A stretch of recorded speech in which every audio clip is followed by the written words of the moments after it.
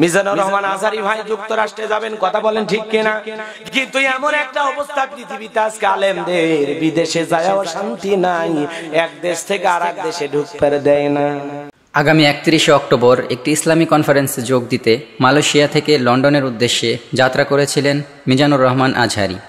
কিন্তু তিন দিনেও লন্ডনে পৌঁছাতে পারেননি। লন্ডনে আসার পথে কাতারে ট্রানজিটে আটকা পড়েন তিনি। কাতারের ইমিগ্রেশন থেকে আজহারিকে লন্ডনের বিমানে উঠতে দেওয়া হয়নি। দুই দিন পর ব্রিটিশ সরকার তার ভিসা বাতিল করে দেয়। এদিকে বাতিল করা ভিসা বহালের জন্য লন্ডন হাইকোর্টে আপিল করা হয়েছে। হাইকোর্টের বিচারক হোম অফিসকে দুই দিনের সময় দিয়েছেন। কেন মিজানুর রহমান আজহারের ভিসা বাতিল হলো সে বিষয়ে ব্যাখ্যা দেওয়ার জন্য।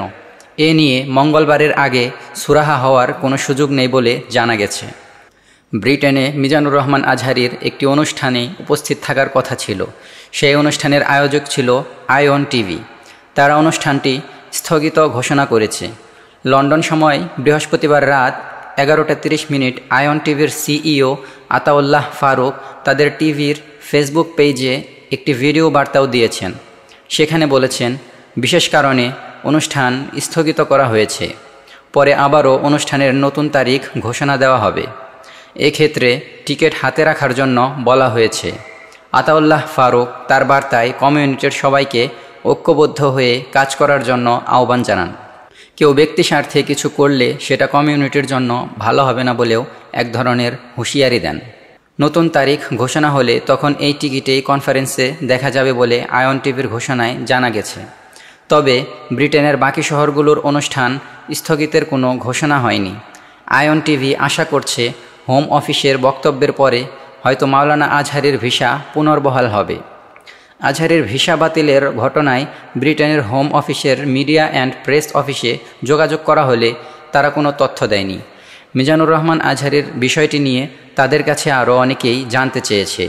কিন্তু বাধ্যবাধকতা থাকায় তারা কোনো তথ্য দেয়নি।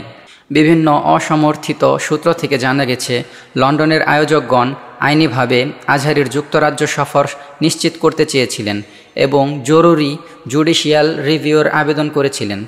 পরে ভার্চুয়াল আদালতে তার শুনানি হয়। বিচারক ব্রিটেন প্রবেশে আজহারের ওপর নিষেধাজ্ঞা বহাল রাখেন। ভিন্ন ধর্ম সম্পর্কে ঘৃণা ছড়ানোর অভিযোগে যুক্তরাজ্যে নিষিদ্ধ করে দেওয়া হয় আজহারিকে। তবে আজহারিকে এই ভিসা বাতিলের সিদ্ধান্তের বিরুদ্ধে আপিল করার সুযোগ দেওয়া হয়েছে। এখন ব্রিটেনে আসতে হলে মালয়েশিয়া অথবা বাংলাদেশে গিয়ে আইনি লড়াই জিতে আসতে হবে আজহারিকে।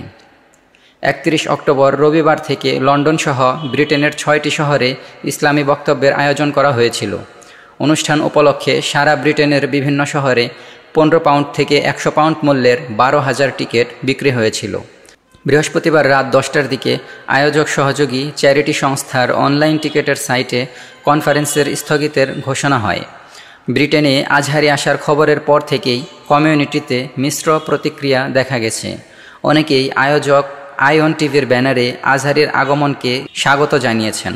আবার একাত্তরের ঘাতক দালাল নির্মূল কমিটি থেকে অনেক মানুষ আজহারির সফরের বিরোধিতা করে আসছিল।